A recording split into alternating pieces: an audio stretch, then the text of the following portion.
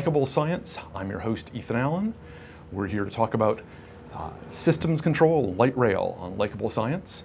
With me today in the studio is uh, Tom Eichorn, a project control engineer from uh, Ansaldo, Ansaldo, excuse me, uh, and uh, we're going to have a, a fun, wide-ranging discussion, I hope, about the uh, systems thinking in general, why we, why we use systems thinking, and really how this applies, how it makes sense and plays out in, in the real world. Welcome, Tom. Thank you, Ethan. It's a pleasure to be here. Well, thank you for coming here. So Tom has been in the uh, uh, transit industry for about 40 years, I guess. He uh, graduated from Clarkson University and did postgraduate work at Rochester Institute of Technology. He's a member of uh, IEEE, the Institute for Electrical and Electronics Engineers, and has been in working groups uh, in the, the, for best practices in the transit industry in that, in that organization. And uh, currently is working here on, on Honolulu's new, new light rail system. So before we get into the, the specifics of light rail, I thought it would probably be good to establish a little common ground, be sure we're, we're talking about the same stuff and that uh, our audience uh, all understands this too, uh, about what we mean by systems, what are systems, why do we think about systems, and all that kind of stuff. So you and I have rather different backgrounds. I'm, I'm a biologist by training, and, and, you're an engineer, and so I tend to think of systems in biological terms, like a human system, a human being is a system. We have skeletal systems and muscular systems and digestive systems and respiratory systems and all. Whereas you might think of other systems? Yeah, so, so I generally think of systems as um, uh, composites of subsystems, components that make up those subsystems, and then, you know, they're, they're, they're aimed at doing some sort of task or some sort of goal or some sort of challenge. And then uh, we as engineers break those, um, those the, the main goal down into manageable tasks that we can um, define subsystems to actually achieve those minor goals and eventually build it back up to achieve the original goal. So yeah, so I, I think of systems as as transit systems, as as computer systems, as networks, as those kinds of things that that people and engineers and you know, that build and consumers use as in everyday life.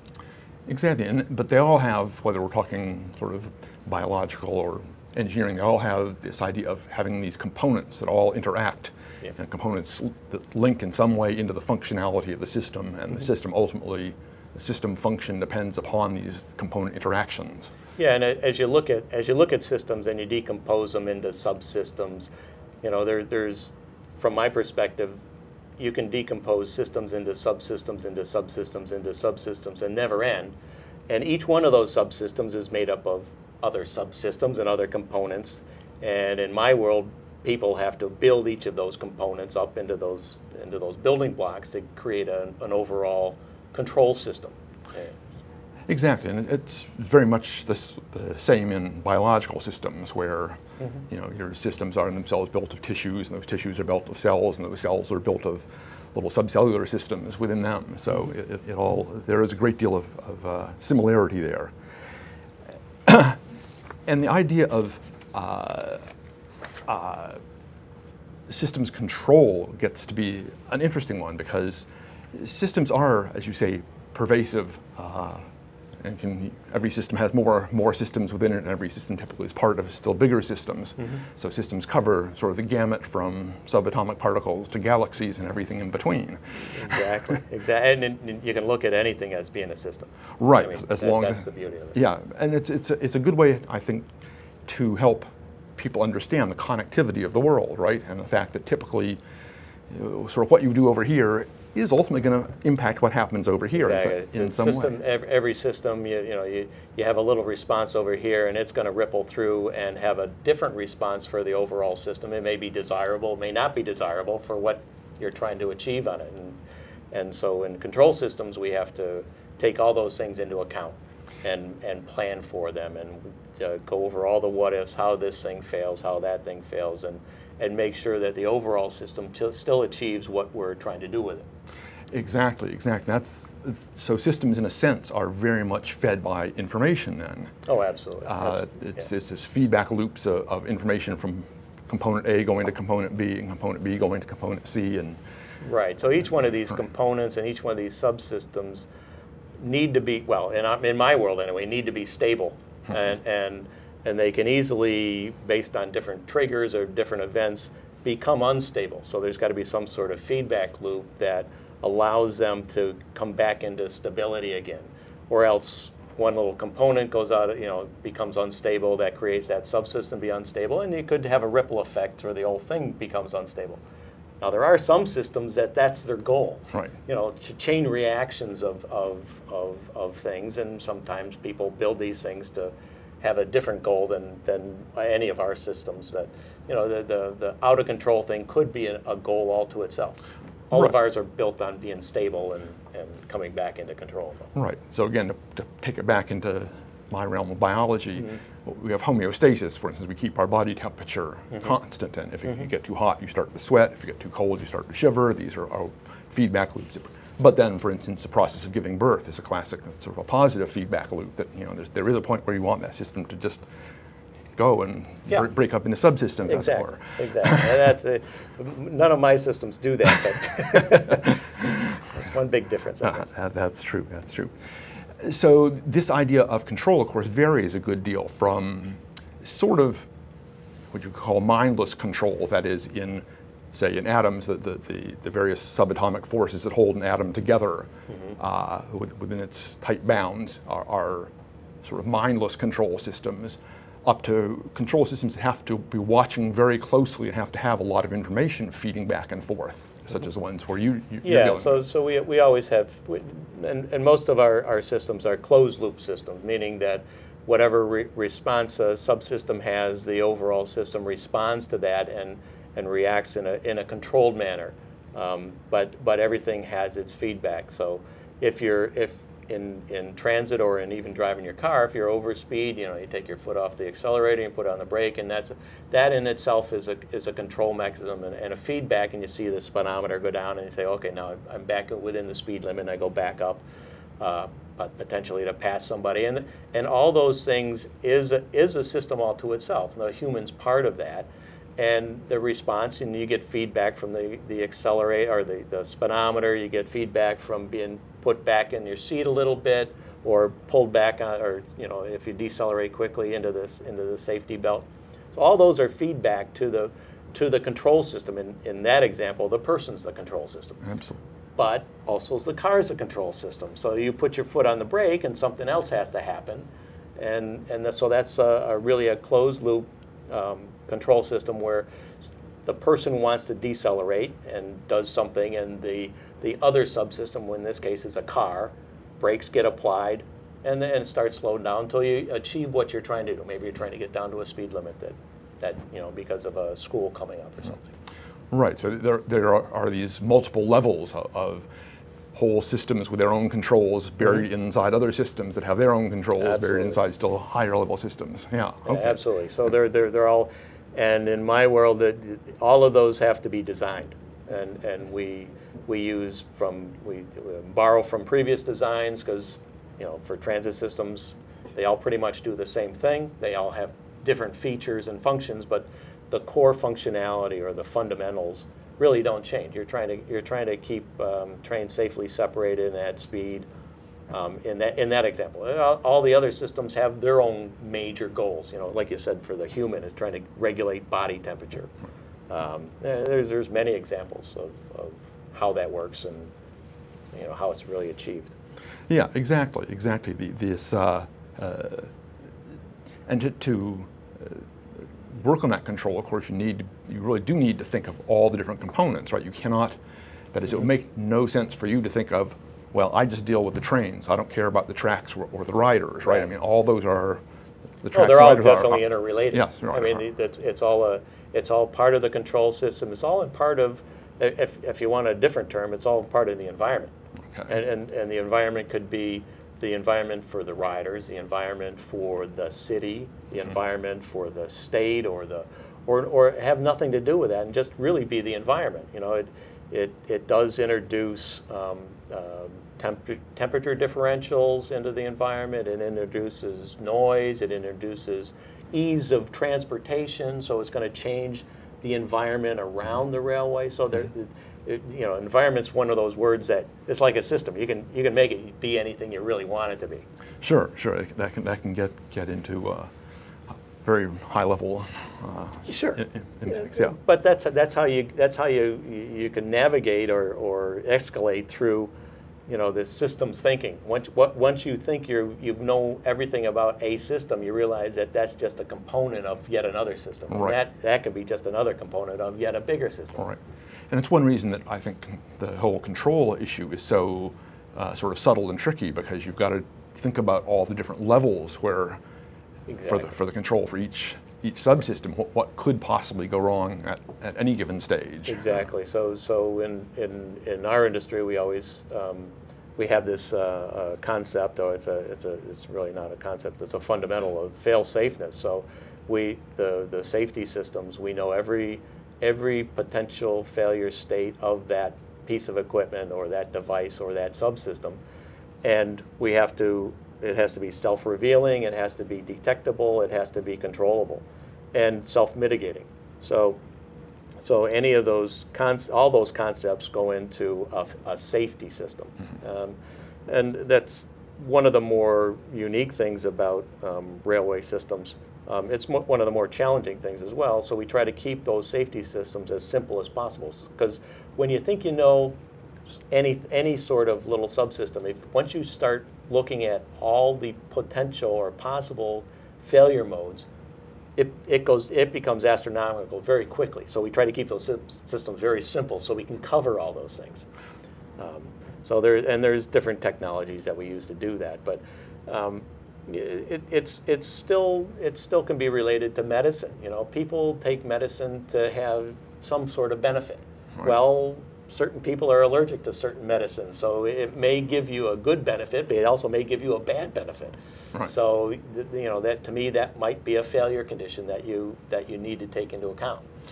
Right, and I think it's uh, one reason uh, I think medicine isn't maybe in some sense as um, predictable as engineering is we have we deal with these much more complex systems of our, our, our human physiologies where mm-hmm. we all have different metabolisms, different sensitivities, different right. allergies. Right. Right. So. So, uh, so we right. are our sense a, a, system all to ourselves that, you know, we introduce stimuli or some sort of event that triggers some other sort of event. You know, some some on purpose by taking medicine, some. Mm-hmm some not on purpose, like getting stung by a bee or something right. like that, and and then you have another reaction to that. Right. So you know, there's there there are all these um, intertwinings or interrelationships of of how things react to other things. Right, and, and, and is that that interplay that, that's so that's really so critical that, that makes right. Some, some of it's right. controllable, right. and some of it is definitely not controllable. Right, right, and and yes, your your job then is sort of to control as much of that as possible to, to think about all things that can't be controlled and figure out how to deal with those. Exactly. Yeah. So we, I mean, the, the simplistic things is the, the control system has to be stable, it has to be predictable. Some of them have to be fail-safe, some of them are not fail-safe. Um, but the, the fail-safe ones, we, we absolutely have to keep as simple as possible. But when I say that, that doesn't mean that they're you know, like a Tinker Toy. Uh-huh. You know, they're they're very complex all to themselves, but we're we we really strive to keep them as simple as possible, but still do their their end goal. And right. and as time evolves and systems uh, become bigger and bigger, those simple systems become complex. Yes, yeah, and that's a, a continuing challenge. Absolutely, yeah. absolutely challenging. Indeed, indeed. Um, so, and systems, I mean, we, we can look at that also from other perspectives, that is sort of historically systems uh, live, they, they go on for some period of time, they, they change over time, they, mm-hmm. uh, ecosystems evolve, human societies rise and fall. Of course. So yeah, uh, and again, all, all, with varying degrees of control in there and, and varying, varying sort of pur- purposeful versus accidental control, as it were. Yeah, exactly. So, so, so animals evolve, you know, the survival of the fittest and, mm-hmm. and all that kind of thing. Um, and that's that's similar to what we we have in a design concept. So so designs that are stable and, and good five years ago tend to be still good today. Some that are, are 20 years old, 40 years old are still good today. Some have mutated and disappeared. Right. And so you know there, there's very, a lot of parallels there to to how animals evolve or how plants evolve Exactly. to deal with their environment. Right, exactly. Cockroaches, widely widely disliked by people, are a wonderfully stable design. There are Oh, yeah. th- there are fossil cockroaches that have been are basically indistinguishable from today's bugs that were around when the Appalachian Mountains were, were rising and growing. And remember, the Appalachians were taller than the Rockies at one point. At so one it's, point. it's been a long, long time. They watched, you know, they watched sort of the dinosaurs come and go, and all with basically the same design. You know, uh, they're they're truly, truly remarkable. No matter what we do. Right, exactly. um, excellent. So um, let's see, what, what were we, we were talking about? Um, so the idea of, of this, uh, of limits on systems then, we, we have to think as you design a system, what sort of, where you want it to operate and sort of how far away from that ideal you're, you're going to allow it to go, right? Right. So in your trains, I mean, how they may be up, you may wish them to operate at 50 miles an hour. They mm-hmm. probably can go fine at 55. Mm-hmm. If they're going at 75 or 90, that's probably going to get to be Yeah, that's a problem. That's a problem for, actually, it's only a problem if your limit is, is 55. Right, right. If your, if your limit is 95 or, or Right. 256, you know, then, Right. you know, you- you've got other things to deal with, but, but those limits are, are the base limits that, or the goals that the, the original design is supposed to support. So that's one of the differences between like the, the, the ecosystems and the human body and those kind of things. There's no real, that we know of anyway, no real design that it's trying to achieve. But the, the systems that, that get designed, they have goals, they have limits or constraints, and we call them design constraints, that limit the, the, the scope of the project or the scope of the design. And uh, sometimes it's the complexity of the design. Sometimes, you know, they all have to be maintainable and you have to build those kind of things into the systems. So there, there's all kinds of, all facets, facets of, of designs, uh, requirements that get melded together to say, okay, this is the design of the overall system. So you, you, try to, you try to put bounds on it. You have to describe every requirement, and it gets at, at times very tedious and, and mundane work. But but it's really you know the devil's in the detail. So if you mess up at on, on the requirements level, it can easily um, know, escalate into a real issue you know, several years from now that you have to still deal with, but you have to go back to the original requirements and modify them and build it back up and say, okay, I'm going to make this change. What's that going to have on the overall effect of the system? Yeah, yeah. And so those are those are pretty routine things that, that we deal with in, in transit designs and any any subsystem designs that that people have to build, Right, as opposed to what gets what evolves all by itself. right. Although there are sort of parallel situations in, in uh, say, physiology where, you know, if one of our 22,000, 25,000 genes fouls up one copy of that in, in the original DNA in a sperm or egg, Yeah. you know, Yeah, that, so- then that can have cascading effects. And it may uh, and it may not be and it may not be um, self-detecting for you know like 40 years. Right. And then all of a sudden you have this other issue that it's morphed into. Yes, exactly, And- exactly. and- some are immediately lethal, some have no effects. Yeah, Some yeah. have some delayed effect, yes. it- it's- Exactly. right, so Exactly. it So, and, and and so we try to keep we, we try to look at all the all the requirements, all the designs. We have history of what previous designs have done and how they've behaved in in various situations and what their responses are and how well they've responded and we make improvements to it where they go awry or or or aren't as uh, you know, we have this whole concept of availability and reliability that we measure everything against. And, and so if, if uh, a component is not very reliable, we, we design that component out of the, the system and introduce another component.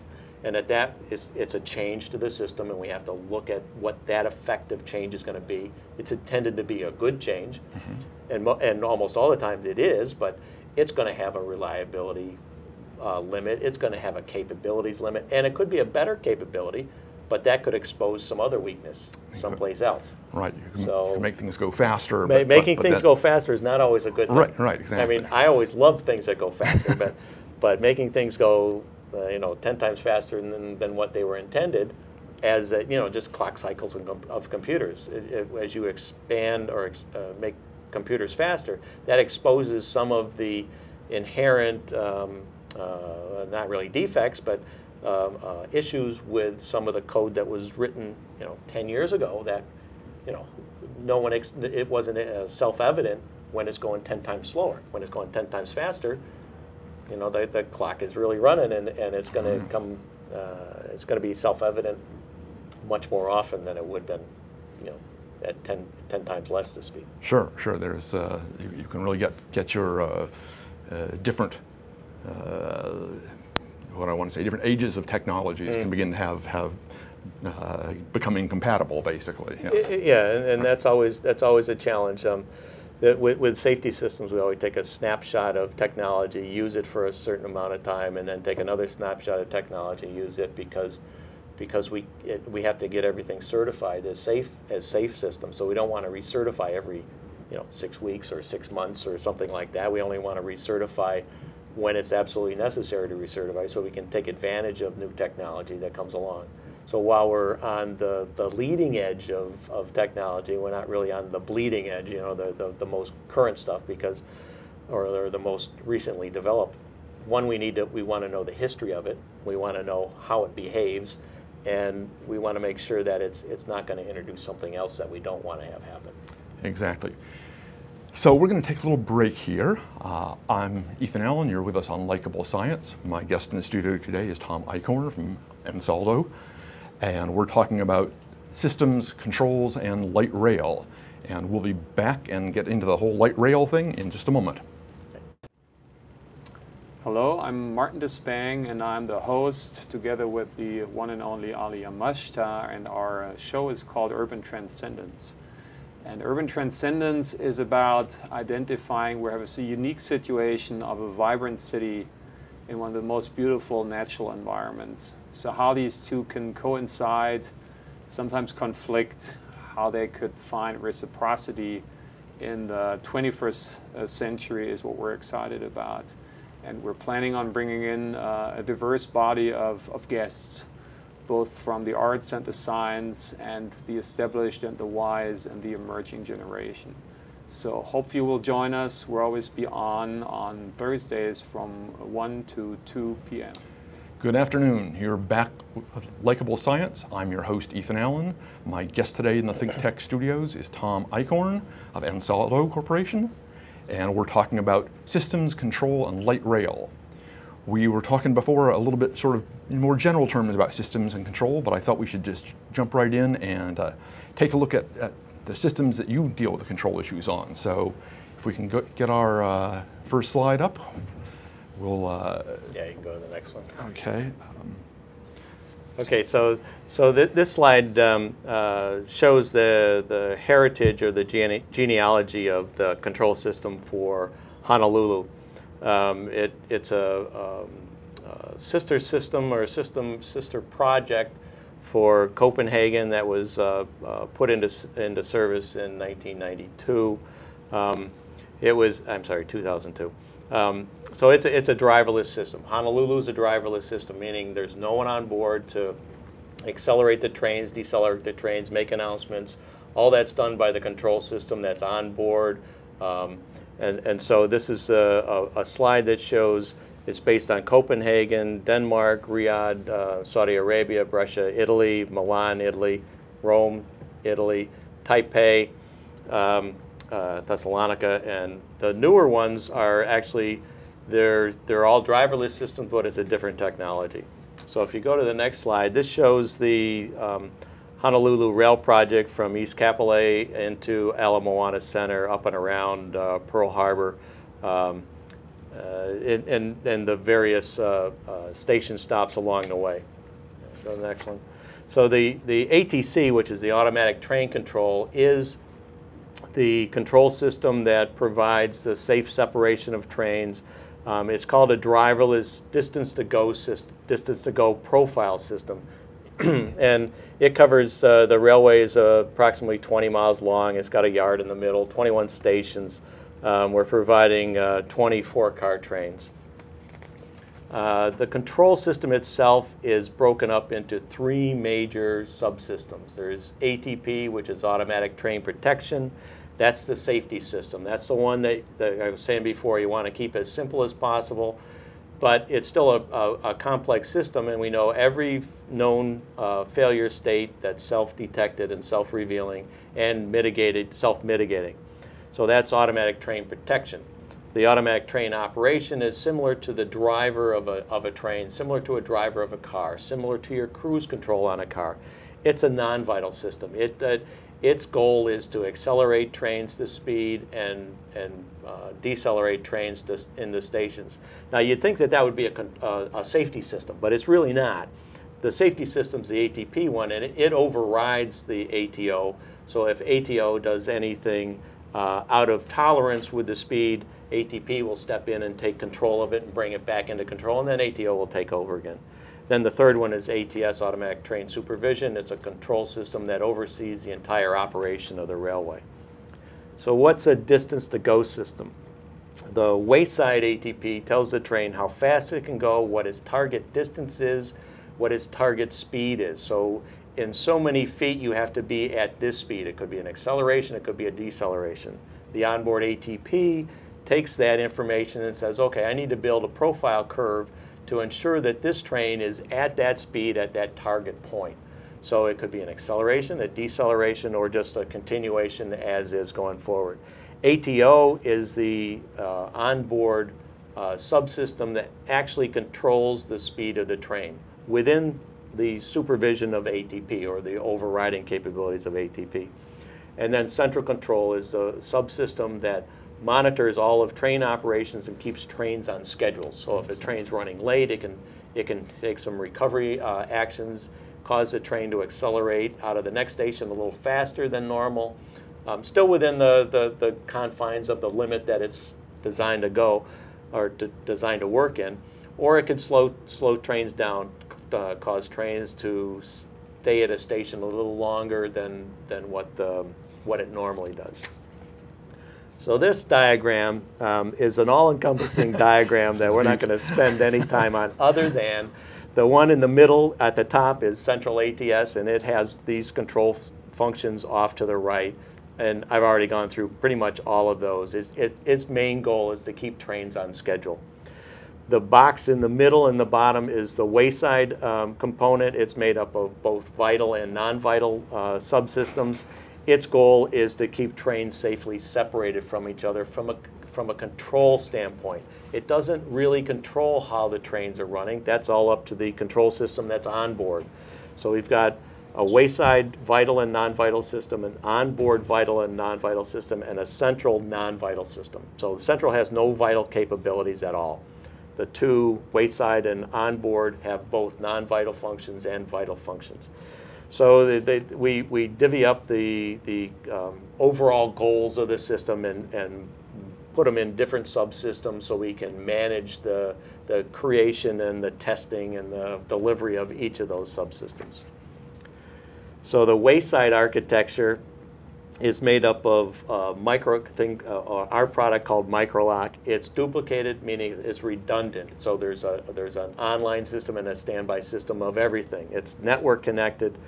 Uh, the wayside uh, MicroLoks talks, it um, injects a signal into the running rails that's picked up by the trains that tells the train the distance to go, the speed that it's going, um, the track circuit that it's in. We also have another subsystem where the trains communicate with um, the central office when they're at stations. The onboard architecture is, is again made up of ATP and ATO. The, this picture at the bottom and this diagram on the side um, show the, uh, the, the, specific equipment that's made up, uh, that comprises the onboard ATC architecture. It, it is under car uh, mounted, so there'll be doors on this thing, so you can't see it, and it's or, you know, hermetically sealed. But it's, it's the onboard uh, control system that actually controls the train and ensures that the train behaves exactly the way that the wayside system wants it to behave.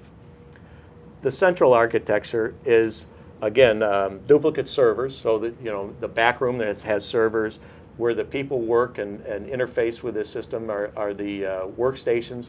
So the back end servers are duplicate, the networks are duplicate, so within the OCC, which is the main office control center, is a duplicate control system.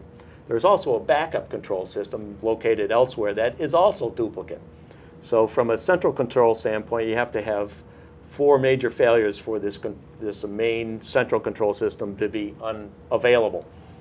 Even if that happens, the local ATS takes over and, and makes sure that, that the trains um, are, are routed to where they're supposed to go and the system continues on in this case without anybody in control. And there's usually reasons why people stop it at that point. But from a design standpoint, right. we, we go through and, and design those things. This last diagram is, is how uh, a control system engineer looks at the railway. I said it was 20 miles long and it's got 21 stations. Well, this is what a diagram of the 21 stations, and these little X's are crossovers that are controlled by these micro controllers.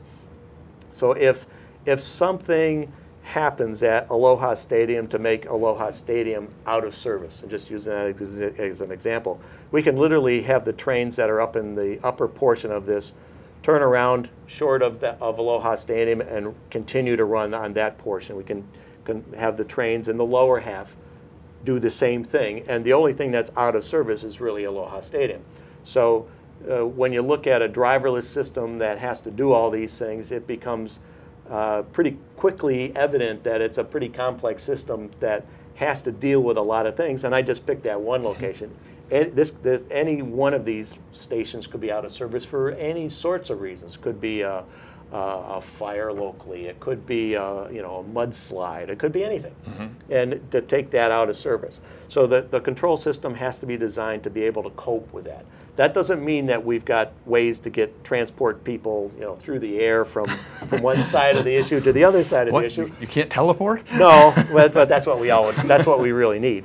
Um, but that's but you kick it up several right. levels of, of of system, and there'll be there'll be um, contingency plans in place to to have buses to show up at each of these places to to, to um, shuttle people across that need to go between those two things because we know for sure that the people that get in on at East Kapolei that wanted to go to Ala Moana and we can only get to Aloha Stadium, they're not going to be so happy campers right. that they can't get there. So if something like that happens, there's contingency plans for another control system or another uh, uh, process to be in place to shuttle people around those things. Right. These are the kinds of control systems that we've um, developed and deployed in those previous ones, Copenhagen, Brescia, Milan, Rome, um, Taipei. They're, they're all based on the same technology. They're all based on the same control system philosophy. We've improved some of the, the components within them over time. Um, you know, it, it, components have uh, a known life. They have obsolescence you have mm -hmm. to mm-hmm. deal with. So you, there's natural uh, sort of events that allow you or force you to upgrade systems other than new requirements. You have to go faster, quicker, less, less volume or less energy consumption that you have to deal with as well. But, but these systems are, you know, they're, they're, it's not a new system. I mean, it will be a new system, but it's not new to me. Right. I mean, we, we've lived with, with the, the system for various generations of equipment, various um, places around the world, various different environments that it goes into. You know, one of the one of the things here is that hey, we're on an island. Well, mm-hmm. how do you get trains to an island? Well, you build them someplace and you bring them here, or you build them here. Right. So we're we're building them in, in California and bringing them here. Uh-huh. So then there's the whole logistics of trying to get that big piece of equipment here. Right. Yet, yet another sort of systems within systems Absolutely. way of thinking. Absolutely. Yeah. So, and then how do you get it transported to where you unload it? I mean, there, there's all sorts of challenges, all sorts of, of engineering activities that go along to satisfy or to support these sort of endeavors. And, and I'm just talking about train control.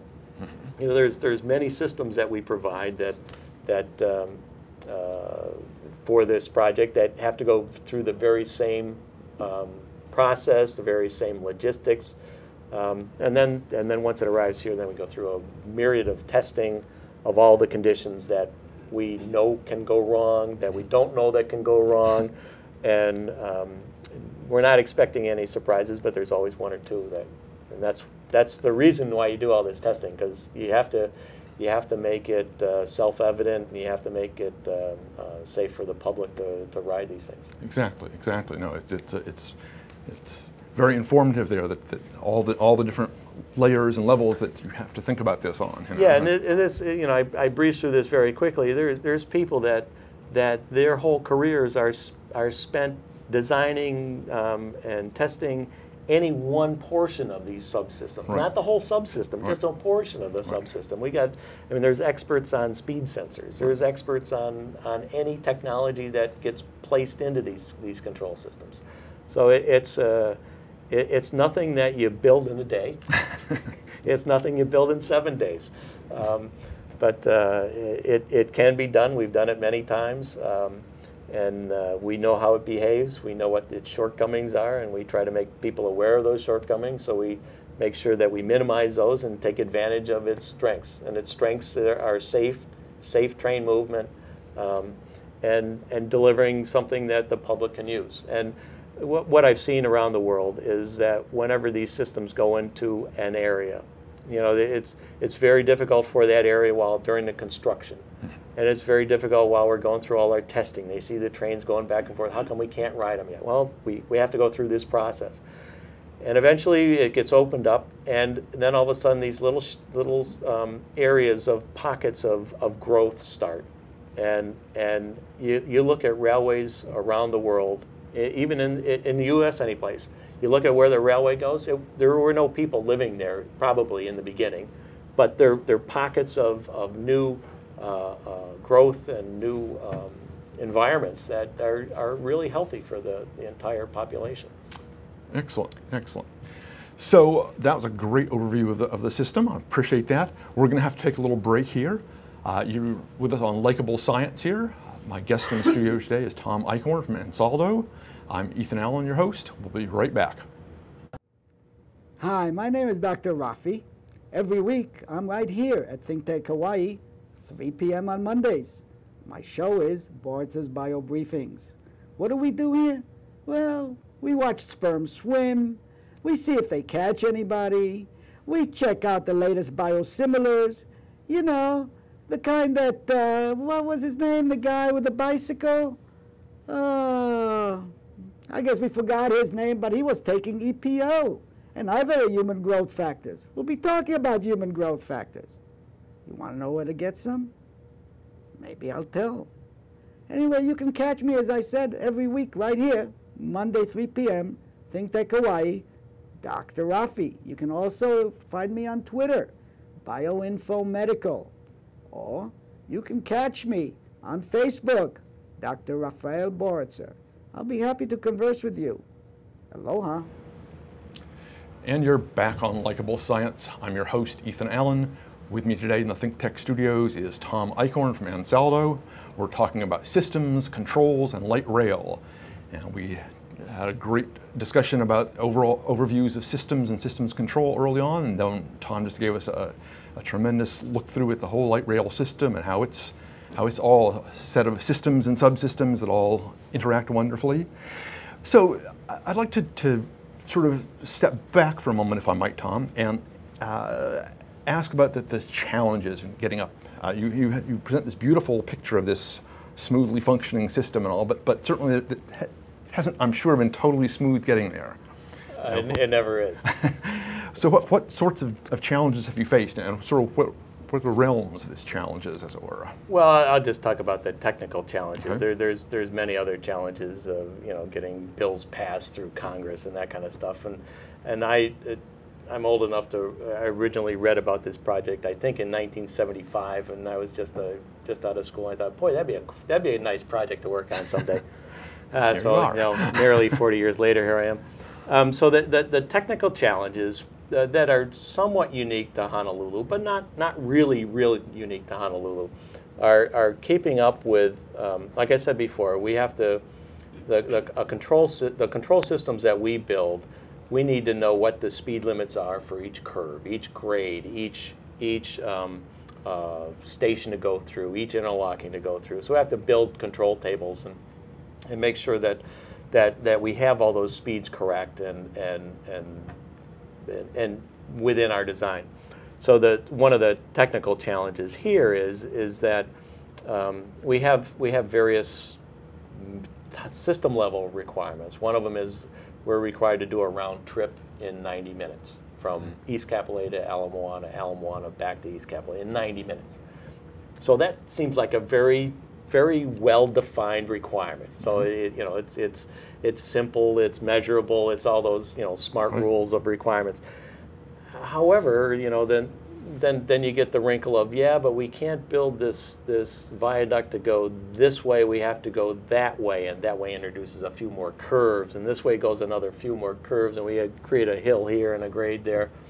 And so the challenge is is to is to is to continue to make the control system able to deal with not not just deal with those things, but try to eh, not try to but to meet the overall goal of 90 minute round trip time. And and so the the while the, the the changing of the grades and the curves is pretty much out of our control, we still have to say yes, we can still do that. So we mm-hmm. have simulations that we run that, that model the, the railway itself. So we build all the grades and the curves and the and the train performance into these things. And so it's a it's a real challenge to be able to continue to meet this top level simple goal mm-hmm. when the underlying railway goes through some changes. I'm not saying they're major changes, mm-hmm. but it doesn't take a lot of you know or a lot of change to affect the round trip time. So that that's been one of the the the, the the goal, the, the challenges here. To be honest with you, it's a challenge on all the systems because everybody, um, you know, it, it, the, the, nobody makes the goals easy, or they wouldn't be goals. Right, Yeah, right. You know, they, Yeah, exactly. so there there are always challenges, and the people that, that that write their specs, they know how you know how long it takes to go from point A to point B and back again. So they say, well, it could be if we made it 110 seconds, no problem. Right. So that, those are those are just a you know one of the one of the challenges is to try to address those. Sure. So you, you want to make this, uh, set these overall goals where the public will actually use this. They'll find it to be a, a- an Exactly. attractive option. Exactly, Uh, yeah, exactly. yeah. So, you know, so if it, you know, if, if it takes you an hour and 20 minutes to come in from East Kapolei into Center City, uh, this will be an attractive option Right. because you can do it much, much quicker than that. Um, but so that was, that was like the, one of the, the, the um, fundamental goals of, of the project, to be able to do Right. that. Even though we have to deal with other things that are pretty much out of our control, we have to be able to, to deal with that. So we, we try to make the, the you know, the, the the impact of the grades or the curves as minimal as possible. Well, it'd be good if we could just lower this by a percentage or two, and then we can, you know, make this happen. Um, but, but those are all the, the same kind of things. Another another challenge is we, we are on an island. Um, we are in a, a seismic zone that's certainly not as, as unstable as other areas of the world. Um, you can just think of a lot of other places that way. Even the, the Big Island is much much um, more seismic event driven than, than we are here on Oahu. Um, but but we have we have uh, seismic detectors. So if, if any of those go off, we, we have a, a, a strategy that um, comes into play, and we effectively stop trains pretty much wherever they are as quickly as we can because we don't know what the what the next event's going to be. We just Right. know that one of these seismic. So that was that's a first for us to actually build seismic detectors into our control system. Uh-huh. They've been in other control systems like in Los Angeles, and the people in control center will stop the trains. But this is this is our first one where we've we've actually built that into the control system, and it's an automatic reaction to mm-hmm. another event. So those are those are some of the uh, uh, you know, a couple of the technical challenges that Honolulu brings to that we haven't had to address before. And, and have you yet, have you sort of had to face new challenges that you didn't sort of count on when you were, when you first got, got the project moving? Um, yeah, I suppose there's a few challenges that, that come up. Um, uh, certainly, the, you know, I, well, the, the, some of the things that we knew that, that were going to be challenges. You know that that one there's there's no rail transit agency on Oahu, so that had to grow up and and become stable all by itself. Um, and there's no um, uh, skill set on island that is used to building these kind of systems, or that we're used to uh, that have built these things before. So those those were kind of knowns coming in. Okay. Um, and you know some of the unknowns. There, there, there wasn't a lot of, of unknowns going in, but there's always the there's you know there's this the whole thing of what you you know you don't know, and and the, the only thing that we have to, to rely on there is experience. You know we, we know what these systems do. We we know how they behave. Um, if some new event gets introduced that hasn't been introduced before, we've got a pretty good idea how it's going to uh, how it's going to work. Or, uh, it, and if if we don't, the, the the subset of possible reactions is is reduced based on how many times we've done this before and how many times we've reused the same um, design of a system before. So there, you know, there's not so many. Um, oh my goodness, here's a, a challenge. Have, had we not had a driverless system before? Sure. Right. Um, uh, we could, I can recall back to our first driverless system. There was many. Oh, yes, yes, I mean, the, the, the, the "no, you don't know thing was gigantic on that system. Right. I mean, it was, it was, it was very large. and- Here, here you've run into many of the contingencies already. You- You've, you've seen the, the, We- the ways these systems can Exactly. We've seen face odd glitches. And, We've, we've, we've seen pretty much, um, I mean, we've built the, the, effectively, we built the system five and six times before now.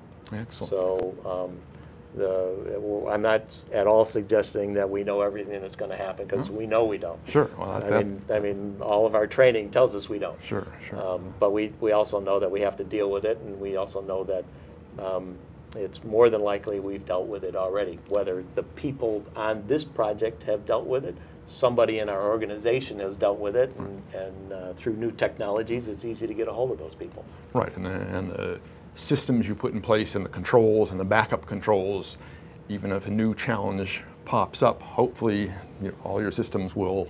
Yeah. So uh, Be one, thi- place to deal one thing it. that I didn't say was I, I did say that the wayside was a duplicate system, and, and it, it's true. The wayside MicroLoks are duplicate. The track circuits themselves are duplicate. The onboard system is fully duplicate.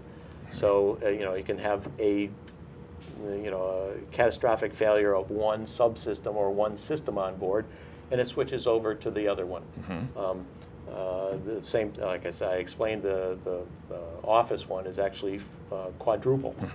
Um, that doesn't mean that it, they'll never fail and never stop. That just means that the likelihood. Right. uh, we're trying to always increase availability. Exactly. It's, it, it's a fundamentally a numbers game, and all you It can is. ever do is, is push the odds of Exactly. total failure down as low as you can feasibly Exactly. make them. Right. Well, and, and stay within budget Right, and right. stay, you know, Sure. beat the competition on what they bid. Right. You know, there's always those things. Absolutely, absolutely. So as, as more and more of these, as technology, you've, you've automated more and more things now. We got got rid of the drivers and you know Yeah. all these pesky little human interactions. Uh, where do you see this going? I mean, sort of what? Where is this going to? Where? How how much of this is going to become non-human entirely? Well, it, it, I mean, it's never going to be non-human because the industry is, the fundamental thing is, the, one of the other fundamental requirements is we have to move 7,200 people per hour per direction. Um, so, I mean, we're always trying to move people. So people aren't going to disappear out of the thing. We've gotten this system, uh, we have built other systems that are not driverless, but this system is a driverless system, so you don't have drivers. Um, the, the, the ticket takers and that kind of things are, are pretty much um, automated as well. Um, there, there, there's not much more we can do from a control standpoint to automate it because there really isn't anybody. But you could make, I mean, the, the future of computers, the future of networks are, are you know, in the adaptive, uh, self-healing nature of, of components. And certainly those can be, uh, increase your reliability, increase your availability without duplicating the whole system. You know, the duplicating systems is, is pretty much the brute force method of, of making something available, more, more available. So technology can bring a lot to it. Um, uh, like I said, self-healing.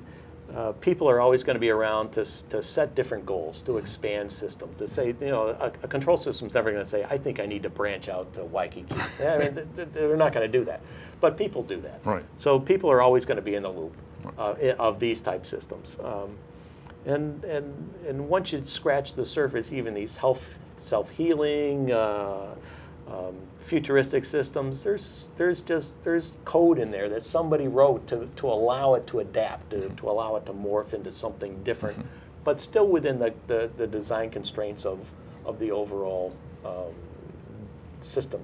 So I, I don't see it uh, um evolving very much, but, but we do have different technologies that are used. So, you know, this is a, a set of technologies that we, that we have. There's another set of technologies that, you know, is a totally different control concept that, you know, we've deployed and have several um, in, in operation. they still move people. They still they, they, they still are are uh, constrained by uh, you know if we have steel wheels on steel rails, you can only accelerate and decelerate so fast. You could put tires on them. You could put them on concrete. We've done that. They accelerate better. They decelerate better. They get flat tires. They, they you know, they're, they they just have other issues that, that that system has to deal with. So you know, and and we've worked on uh, uh, magnetic levitation. Those are those are really kind of cool and techy, real techy.